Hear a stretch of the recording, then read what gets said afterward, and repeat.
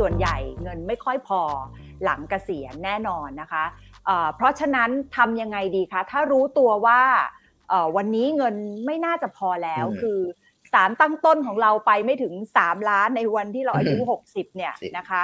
มันมีทางเลือกอะไรบ้าง หรือมันมีวิธีการยังไงบ้างให้เราอยู่รอดต่อไปได้หลังเกษียณเนี่ยค่ะ อืม คือถ้าคนมาคนที่ถามคำถามนี้อายุสักประมาณสามสิบสี่สิบถามผมนะผมก็อ่าโทษสักประมาณ หกสิบแล้วกันมาถามผม เป็นเพื่อนกันผมอาจจะบอกทำใจนะทำใจเพราะอาจจะทำอะไรยากนิดนึง แต่ถ้าคนอายุน้อยมาคุยอาจจะพอวางแผนได้ครับ ถ้าวันนี้คนที่ดูคลิปนี้ อายุประมาณ 20 30 40 อันนี้รีบเลยยังมีหวังถูกไหมคะแต่ถ้าวันนี้คุณดูคลิปนี้ตอนอายุ 60 คุณก็มีหวังเหมือนกันเพราะเดี๋ยวเราจะบอกว่าต้องทำยังไงบ้างต่อเลยค่ะที่บอกว่าอ่าบอกทำใจจะมีหวังบ้างเพียงแต่ว่ามันอาจจะไม่ใช่ทางเลือกที่บางคนชื่นชอบมากนักใช้คำนี้ดีกว่านะครับค่ะอะเพราะนั้นอันดับแรกเลยคือถ้ารู้ตัวเงินไม่พอกลับมาเช็คก่อน สวัสดิการตัวเองที่เรามีมีอะไรบ้างทั้งสวัสดิการที่เราสมัครใจหรือเป็นสวัสดิการจากภาครัฐนะครับ ยกอย่างเช่นพวกกองทุนสำรองชีพ เงินประกันจากตัวเงินบำนาญหรือเงินบำเหน็จชราภาพจากประกันสังคมนะครับ ซึ่งเอาเข้าจริงถ้าใคร ส่งเงินประกันสังคมมาสักประมาณ 15 ปีขึ้นไปก็ได้เงินบำนาญสัก 3,000 ถ้าใครส่งนานหน่อยนะครับทำงานอายุ 22 25 อัพนะครับ ส่งมาตลอด 30 ปีอย่างเงี้ย35 ปีก็จะได้เงินบำนาญเกือบเกือบ8,000 นะ เดือนละ 8,000 ก็ไม่น้อยนะครับสุดท้ายคือเบี้ยอย่างชีพผู้สูงอายุนะครับนะวันนี้ประมาณสักหกร้อยถึงหนึ่งพันบาทต่อเดือนก็สามสิ่งก็พอจะจุนเจือได้บ้างแหละ แต่อย่างที่บอก เลขดูไม่เยอะนะครับ เพราะว่าจริง ๆ เลขรวมกันผมว่าสักประมาณสักหลักแสนหลักล้านถ้าคิดเป็นมูลค่าณตอนอายุหกสิบอะยังไงก็คงให้แค่ส่วนน้อยของเงินก้อนที่ควรจะมี แต่เอาว่าพอจุนเจือได้แล้วกัน อันนี้อันที่หนึ่งนะครับอันที่สองนะครับถ้าไม่ไหวจริงก็กลับมาดูว่าจริง ๆ สวัสดิการหรือว่าเครื่องมือที่หลังๆ เริ่มมีเรียกว่า reverse mortgage นะครับอ่าคือแม่คือเป็นไม้ตายแล้วกันไม้ตายว่า คนเรามีบ้านหรือคอนโดอยู่อาศัยครับ แล้วปลอดภาระหลังกเกษียณแล้วถ้าไม่มีเงินอื่นแล้วนะครับ เอาบ้านหรือคอนโดเนี่ยไปค้ำประกันกับธนาคารนะครับ แล้วธนาคารจะให้เงินออกมาใช้จ่าย ค่ะ อันนี้คือหลักของ reverse mortgage คือไม่คือเอาบ้านเป็นรายเดือน เป็นรายเดือนเป็นรายเดือนนะครับ จะไม่ให้เป็นเงินก้อนเป็นรายเดือน เพียงแต่ว่ามันมาพร้อมกับภาระหนี้เอาบ้านไปค้ำแล้วก็แบงก์ก็คิดดอกเบี้ยไปแล้วก็ทยอยจ่ายเงินเพราะนั้นเดือนแรกที่ได้ตังค์สมมติ เช่นได้เดือนละหมื่นแบงก์ก็เริ่มคิดดอกเบี้ยแหละ เดือนที่สองจ่ายหนึ่งหมื่นหนึ่งหมื่นบาท ก็แปลว่าเริ่มคิดดอกเบี้ยไปเรื่อยๆครับเพราะนั้นปกติมูลค่าบ้านหนึ่งล้านบาทนะครับแบงก์จะยอมให้เงินบำนาญรวมกันตลอดอายุไขอะเบ็ดเสร็จมูลค่าเงินที่ได้รับตลอดอายุเนี่ยคงไม่เกินประมาณหกสิบถึงเจ็ดสิบเปอร์เซ็นต์ของมูลค่าบ้านที่เรามี เพราะเราต้องบวกดอกเบี้ยด้วยนะครับ ส่วนต่างคือดอกเบี้ยเพราะแต่ถามว่าเอาวะในเมื่อถ้าคุณไม่มีทางเลือกเงินเก็บไม่มีสวัสดิการไม่พอ reverse mortgage คือบ้านไปค้ำประกันกับธนาคาร ก็คงพอช่วยได้ แต่คงไม่ happy มากนักที่จะใช้ถ้าเลือกได้ ถูกไหมฮะทางเลือกที่สองนะครับขอถามนิดนึงได้ไหมคะอย่างเคสเมื่อกี้ที่บอกว่าจริง ๆ สมมุติว่าบ้านราคาหนึ่งล้านเนี่ยแต่เวลาเราได้มาจริงเนี่ยมันมันไม่ได้เต็มหนึ่งล้าน เพราะว่ามันมีการคิดดอกเบี้ยดอกเบี้ยถูกต้องอ๋อง่ายคือเอาง่ายสมมติอาจจะสักหกแสนอย่างเงี้ยหกแสนเจ็ดใช่ครับสมมติ เอาว่ารายเดือนเดือนละหมื่นคูณสิบสองเดือนต่อปีครับแล้วคูณจำนวนปี เช่นถึงคูณยี่ห้าปีก็ได้ เม็ดเงินที่จะได้ครับเบ็ดเสร็จก็คงไม่เกินหกสิบถึงเจ็ดสิบเปอร์เซ็นของมูลค่าบ้านณวันที่เราขอกู้ครับประมาณนี้ค่ะ วิธีนี้ก็อาจจะเอาไว้ท้ายๆแล้วกันท้ายๆนะท้ายๆเอาไว้ท้ายๆคือแก่เลือกท้ายๆถูกคือแก่ตัวไปก็ไม่อยากเป็นหนี้เนาะแต่ถ้ามันไม่ได้จริงๆต้องต้องการเงินใช้จ่ายก็ถือว่าเป็นทางเลือกที่อาจจะพอทำได้ละกัน ซึ่งปัจจุบัน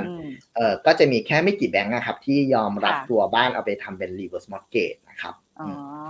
ค่ะสักประมาณ 2 ธนาคารลองลอง search ดูได้นะครับ มี choice อื่นอีกไหมคะ เช็คทรัพย์สิน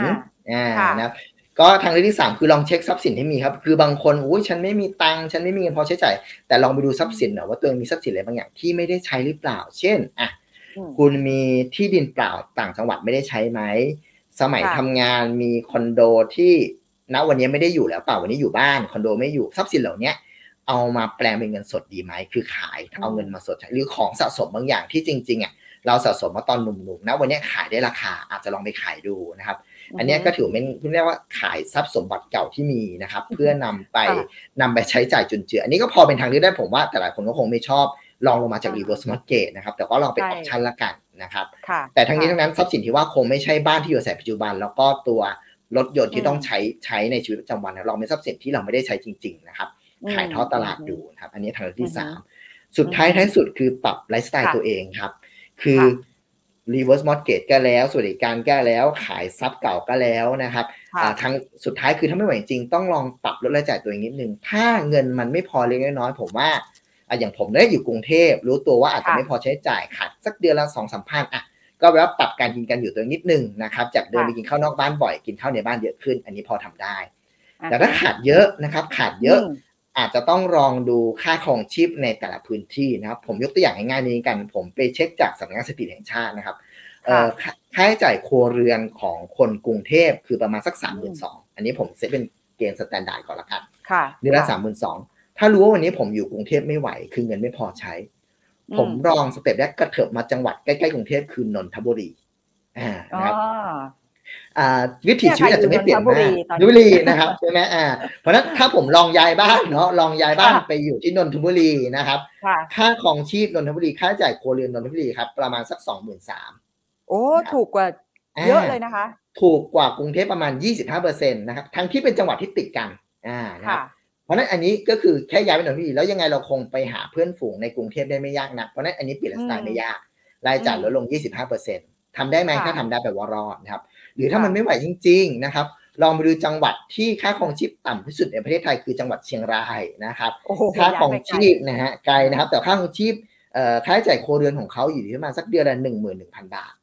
อ๋อหนึ่งหมื่นหนึ่งพันบาท แปลว่าค่าของชีพถูกกับกรุงเทพประมาณหกสิบสี่เปอร์เซ็นต์อือ่ามก็ย้อนกลับไปว่าถ้าวันนี้เราเซ็ตว่าใช้เดือนละหมื่นถ้าคุณไปอยู่เชียงรายก็อาจจะใช้เดือนสักประมาณสามถึงสี่พันบาทโดยประมาณก็แบบว่า อย่างเราก็พอช่วยลดค่าใช้จ่ายลงได้ แล้วก็ไปอยู่แบบอ่าวิถีชีวิตพอเพียงที่ต่างจังหวัดก็อาจจะพอช่วยได้นะครับแต่ทั้งนี้ทั้งนั้นโอ้ก็ต้องค่ะลองดูครับว่าวิถีชีวิตมันตอบโจทย์เราไหมไปอยู่เชียงรายค่ะไม่เจอเพื่อนฝูงเลยมันโอเคหรือเปล่า แต่ก็ลองดูเป็นอค่ะอปชันนะครับคงไม่ค่ะต้องถึงกับไปอยู่เชียงรายก็ได้ลองดูจังหวัดที่ค่าของชีพที่ถูกกว่านนทบุรีลงมา ก็พอได้เหมือนอืกันมนะครับค่ะอืมแต่มันน่าสนใจตรงนี้ว่าในวิธีการอีกช้อยเรื่องของการย้ายจังหวัดเนี่ยค่ะครับ มันจากเดิมสมมุติเราเคยมีบ้านอยู่ในกรุงเทพอย่างเงี้ยสมมตินะแล้วเราอยากจะมีค่าครองชีพที่ถูกลง เราจะย้ายไปเชียงรายแล้ว เราจะไปอยู่ไหนของเชียงรายล่ะคะ เราก็ต้องซื้อซื้อบ้านบ้านซื้อใหม่ที่โอ้มันกลายเป็นเงินก้อนใหญ่อีกหรือเปล่า หรืออะก็ต้องยังไงคะแปลว่าจะต้องมีแหลกทางนะครับหมายความว่าคุณไปอยู่เชียงใหม่เชียงอ่าโทษเชียงรายแล้วกันเชียงรายค่ะอ่าคุณอาจจะมีเงินก้อนส่วนหนึ่งอาจจะซื้อบ้านเล็กหรือซื้อที่ดินง่ายๆเนาะซึ่งอาจจะไม่แพงบ้านเชียงรายอาจจะไม่แพงอาจจะแค่หลัก ไม่ถึงล้านหรือล้านต้นอ่าๆฮะก็ทำได้อะเอาเงินค่ะก้อนส่วนหนึ่งไปซื้อ ในขณะที่กรุงเทพอาจจะมีแผนในการขายบ้านแต่ต้องกินเวลาสักสามสี่ปี เพราะว่าบ้านอาจไม่ใช่ของขายง่าย ก็พอทำได้นะครับเพียงแต่ว่าอืมการทำแบบนี้คุณต้องมีเงินก้อนพอใช้จ่ายในช่วงที่คุณมีการขายบ้านในช่วงต้นๆอย่างนี้เป็น